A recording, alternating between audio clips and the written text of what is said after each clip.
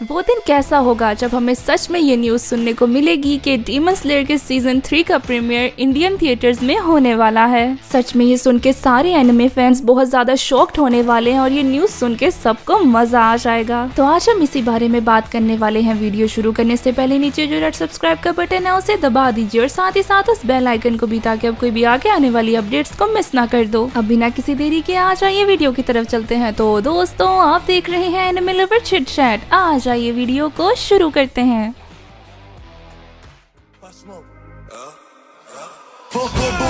get back. I ain't with the talk or the chit chat. If I fuck up, then we wind up. If I back at the top, get back in court, that's a Tom Niggas getting no brand cause they lazy.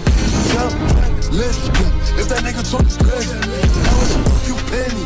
Or bullets start blazing.